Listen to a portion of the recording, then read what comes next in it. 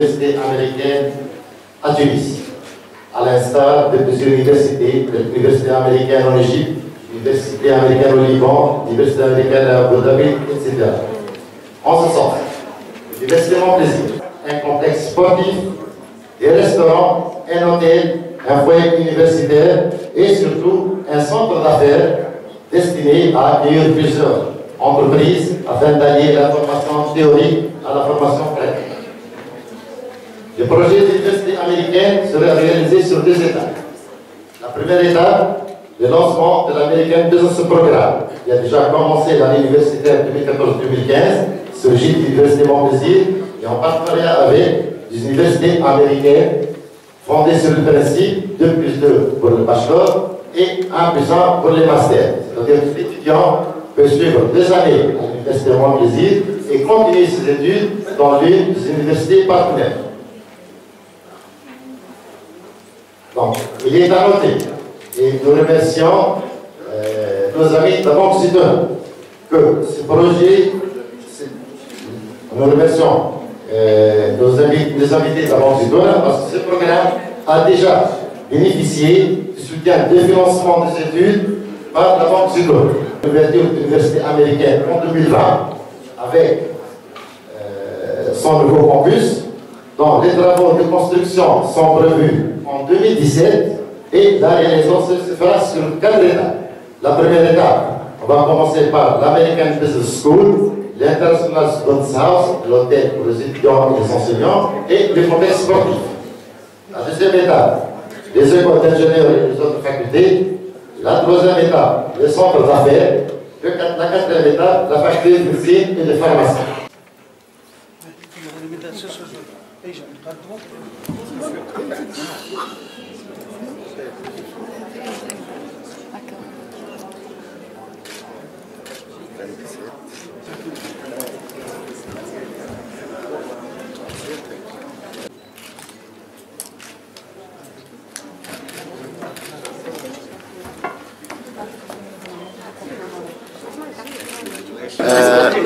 فتحي فرحات universitaire أول من تنجم تقول خلقت التعليم العالي الخاص في تونس لأني خلقت أول جامعة خاصة في تونس سنه 1993 نعم.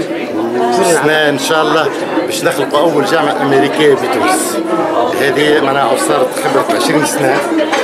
المشروع هذا اولا l'emplacement نتاعو l'emplacement نتاعو هو في المشروع المرفأ المالي البحريني اللي هو يمتد على 580 هكتار واللي المدير التنفيذي نتاعو سي لطفي الزار معنا موجود هوني سي لطفي الزار وهما بيدهم داخلين معنا في المشروع dans le capital بخلاف ال Finance Gulf House داخلين معنا لمان بنك التجاري بنك عدة شركات استثمار وعدة شركات خاصة.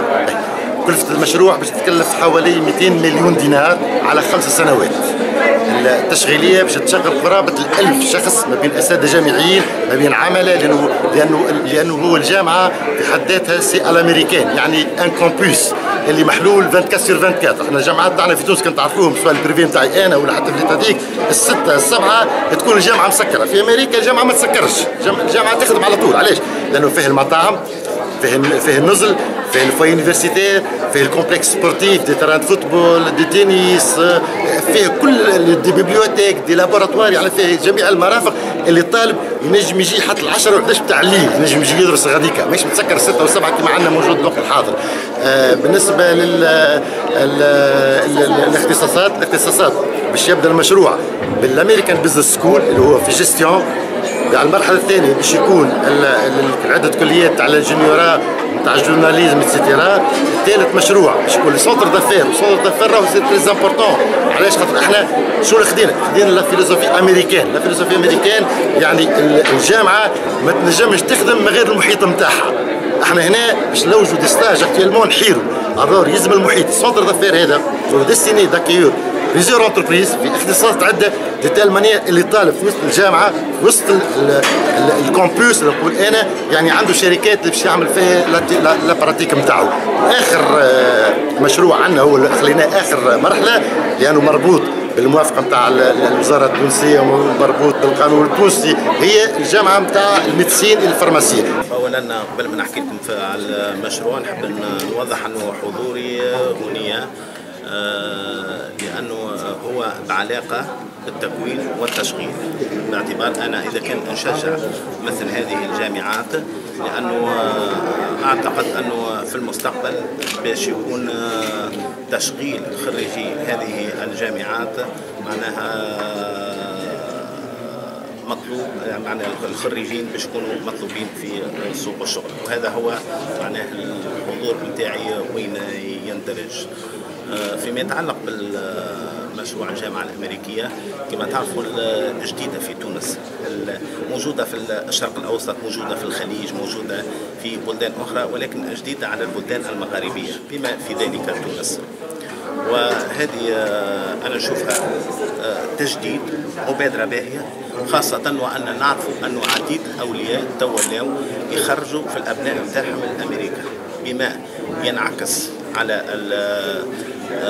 العملة الصعبة لأنه هذا بطبيعة الحال فيه تكلفة تكلفة للعملة الصعبة.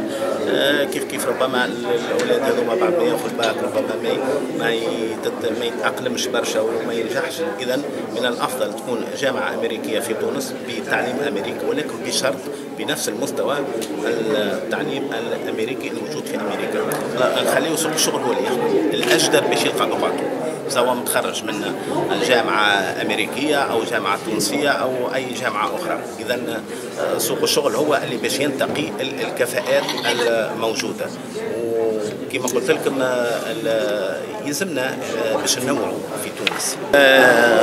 شوف نسبة البطالة وأن كانت راجعت سنة 2014 بالرغم من الصعوبات الاقتصادية لكن ما يمكنش باش نحلوا مشكلة البطالة بدون النهوض بالاقتصاد. مادام ما عندناش استثمار ما يمكنش باش نشغلوا وكيف كيف؟ يلزم الاختصاصات اللي قاعدين نكونوا فيها سواء في الجامعة هذه باش تكون الجامعة الامريكيه أو في أي جامعات أخرى يلزم تكون مواكبة لسوق الشغل. يلزم تلبي حاجيات سوق الشغل. هذا باش يكون ثم ملائمة بين خريجي الجامعات ومخرجات الجامعة وسوق الشغل سواء في تونس والا زاد كيف كيف. أنا ديما نقول أنه ما يمكنش باش ننظروا لتونس في في هذا الظرف الاقتصادي الصعب. يمكن باش نشوفوا شنو الطلبات البلدان الأخرى.